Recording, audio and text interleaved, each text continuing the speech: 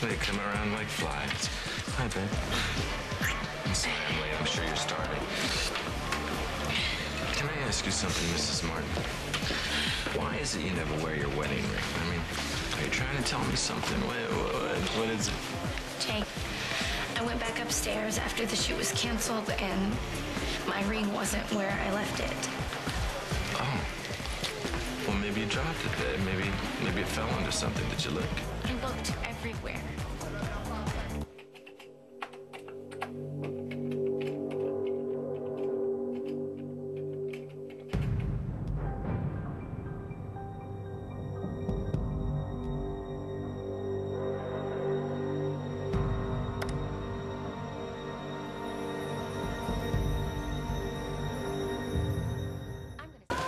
Cannot believe that I lost my wedding ring. I'm so sorry, Jake. Babe, I never should have taken it off for the photo shoot. can you just relax? Just relax, okay? That ring was supposed to be on my hand forever. And when you put it on there, we made promises. That ring was a promise that we would always be a family. Okay, okay. But the ring doesn't equal family. Right? The ring's just a symbol of our love. Nobody, nothing is ever gonna get in the way of what we feel for each other, okay? Rain, Come on. I know, but I liked having a reminder. And I like looking down at it and, and, and thinking of you when I couldn't be with you. Well, I'm here right now, and I'm not going anywhere.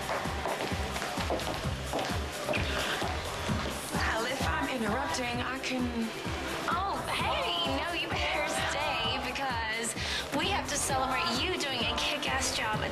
At the photo shoot. I don't know about all that kick ass stuff, but um, let me. See. Yeah, I killed it. Yes, you killed it. We need to make a toast. We're gonna need a bottle, a full bottle. Go ahead. Thank you. Hey, did you invite Barat to help you celebrate? Hell to the no.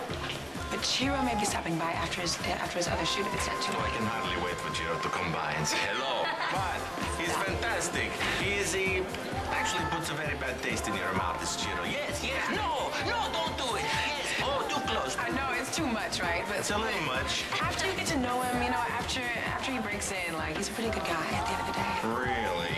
Really? Oh, really. Really? Really. What the? Another poem from Amanda fan. Stop it. So creative.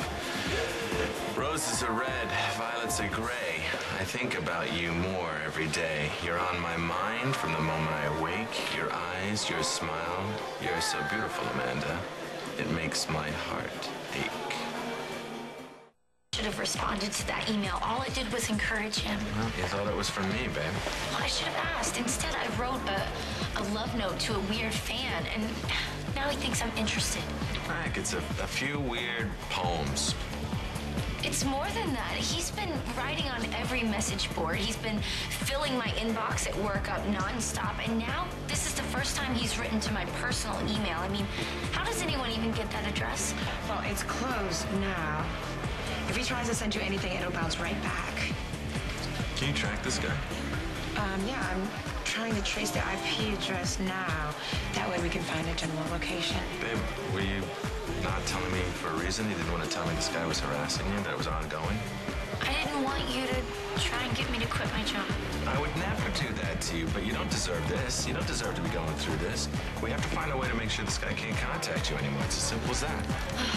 I, I'm gonna go freshen up before Chiro gets here.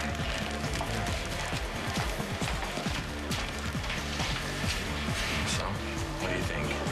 Well, I got something. I don't think you're gonna like this. Whoever this guy is, he doesn't want us to know who he is or where to find him. Of course not. He's trying to cover his ass. I know, and he's doing a hell of a good job at it, too. Unfortunately, I don't think changing Amanda's email address is gonna be enough to stop this guy. Hey. Hey, what? Why do you look so serious? Nothing, babe, but it's just, um, I tell can't find anything on this guy. But the good news is he can't find anything on you anymore. Okay? Well, it creeps me out knowing that he was able to get to my personal email address. Well, that's closed now. It's not going to happen anymore, okay?